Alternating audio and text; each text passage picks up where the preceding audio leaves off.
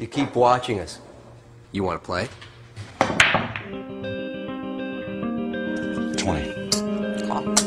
You'd never go up against her. She's already got your new truck. Jesus, look at you. Been up for a few days. I'm not so sure it's the long hours hurting you. I'm gonna play you or the both of you, and we'll beat you. You owe me a hundred dollars.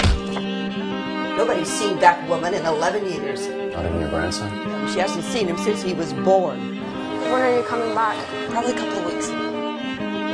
Seven more.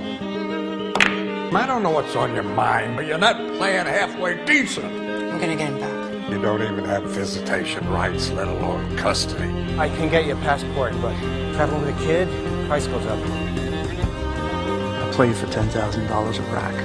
I'll be here. This is his game.